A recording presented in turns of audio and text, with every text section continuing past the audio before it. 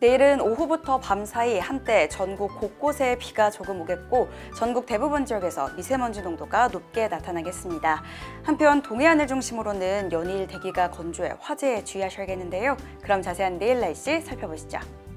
내일은 전국이 대체로 흐린 가운데 아침 최저 기온 영하 3도에서 7도, 낮 최고 기온 7에서 16도로 낮에는 중부지방에서 5에서 10도, 남부지방은 10도 이상으로 올라 포근하겠습니다. 단 낮과 밤의 기온차가 10에서 15도, 일부 남부 내륙은 15도 이상으로 매우 크겠습니다. 내일 오후부터 밤사이 전국 대부분 지역에 한때 비가 오는 곳이 있겠습니다. 비가 내리는 일부 지역에서는 돌풍과 천둥, 번개가 치는 곳이 있겠으니 각종 안전사고에 유의하셔야겠고요. 기온이 낮은 일부 산지에는 밤에 비 또는 눈이 오는 곳이 있겠습니다. 예상 강수량은 전국에서 5mm 내외가 되겠고 그 외 광주, 전남, 대구, 경북 남부 내륙, 경남 서부 내륙, 울릉도, 독도, 제주도에 1mm 내외가 되겠습니다.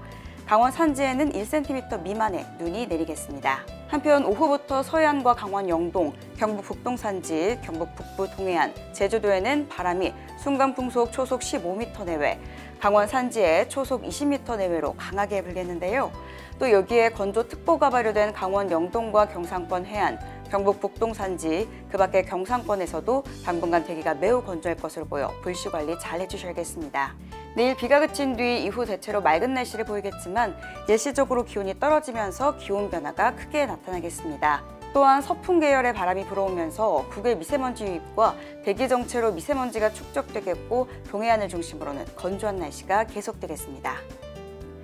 내일 대부분 지역은 전일 잔류 미세먼지가 대기 정체로 축적되고 또 국외 미세먼지가 유입돼 농도가 높을 것으로 예상됩니다. 수도권과 강원 영서, 충청권, 호남권, 영남권, 제주권은 나쁨 수준, 강원 영동은 보통 수준으로 예상되니까요. 호흡기 건강 관리에도 신경 써주시기 바랍니다. 지금까지 웨더뉴스 내일의 날씨였습니다.